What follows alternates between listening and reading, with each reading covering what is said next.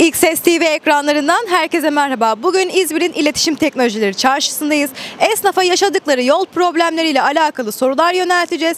Ne gibi cevaplar alacağız? Gelin esnafı dinleyelim. Şimdi boru patlamıştı. Biz nereden bir hata yaptıysak belediye aradık su kaçırıyor diye. 6 ay sonra geldiler bunu tamir et. Böyle bıraktılar 3 ayda böyle boş kaldı. Bakın yapılan işçiliğe bir bakın. Ya CHP zihniyeti, hükümeti şeyi bu mu yani ya? Bu böyle bırakılır mı ya? O gün bir şey geldi meclis üyesi geldi. Haklısın dedi ya böyle yapıldı bak. Şu görüyor musunuz bak şu taşlar nasıl gidiyor? Bunu kör yapmaz ya. Gece kondu bölgesinde böyle bir şey olmaz ya. Bu mu hizmet? Sinir oluyor vatandaş düşüyor. Hizmet bu mu? Bu hizmet mi bu ya? Sonra geliyorlar oy var mı, şu var mı, bu var mı? Balyoz ekibi göndereceğiz, bu göndereceğiz. Bir bakın yani. Bize bak taşlar önüne bak. Gelecekler en kısa zamanda yapacağız diye. Bu yani, diyecek bir gelen yok yani. yok. Çok sıkıntı yaşıyoruz. Burada vatandaş yürürken düşüyor. Bu e, çukurlara basıyorlar. Bir de su birikintileri oluyor. Çok su birikintileri oluyor burada. Yani biz esnaf olarak memnun değiliz. En kısa zamanda bunların halletmesini rica ediyoruz. Sürüyorlar fakat uygulamıyorlar. Uygulamaya gelince maalesef sözlerinde durmuyorlar. Şu anda zannedersem bir yılı geçkin süredir bu yolda kısım kısım yerler tamamen bozulmuş durumda. Tabi buraya gelen geçen turistlerimiz var, efendime söyleyeyim iş adamlarımız var, vatandaşlarımız var, gençler var. Burası hareketli bir yer. Çünkü sonuçta gelen gideniyle birlikte İzmir'i yaklaşık nüfusunun dışında da artı bir potansiyeli olan bir yerdeyiz. Şimdi biz defalarca buralarla alakalı işte gelin bunları halledin. Çünkü sonuçta belediyenin gücünün dışında bir şey değil burası.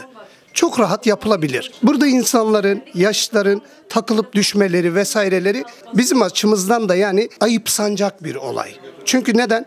Bizim bunları gördüğümüz halde söylememiz defalarca gelmemeleri bizi belediyecilik manasında üzüyor. Belediyenin tarafı olmaz. Belediye hepimizin belediyesidir. Şimdi burası bilinen güzel bir pasaj. Buraya yağmurda hiç kimse bir kere gelmiyor. Üstü güzel bir şekilde yapılsa. Buraya güzel bir yağmur korunağı yapılabilir. Üst daha güzel bir hale getirilebilir. Alt zemin de yapıldığı zaman burası inan ki tadından yenmez. Ama maalesef baktığımız zaman CHP belediyesinde bir garanticilik sistemi olduğu sürece biz buradan tam anlamıyla güzel bir hizmet alamayız. Çünkü biz eğer esnaf olarak burada bir yıldan fazladır dile getirerek yaptıramadığımız bir pasaj İzmir'in merkezinde bir pasaj yapılmıyorsa belli ki belediyenin ne vatandaşını ne esnafını bir şekilde düşündüğünü söyleyemeyiz şu anda. Yani bizim istediğimiz hangi belediye olursa olsun en azından vatandaşların faydası için bazı şeyleri yapmaları gerekiyor.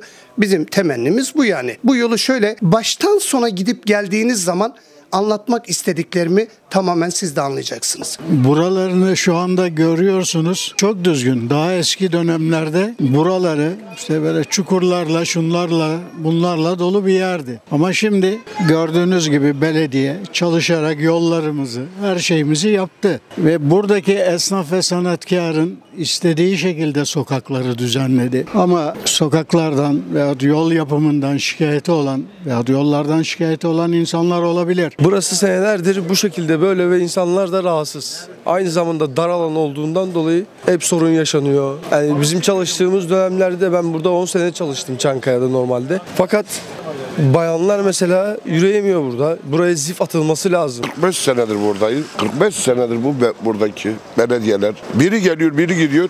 Hep yolları yapıyorlar. Yolları yapıp hiç uğraşmıyorlar. İlk ö- e, eşiyorlar, ondan sonra öyle bırakıyorlar. Buralar hiç eskiden İzmir e, ikinci, üçüncüydü. Şimdi 50. oldu. İzmir e, il memleketimiz hiç şey olmadı.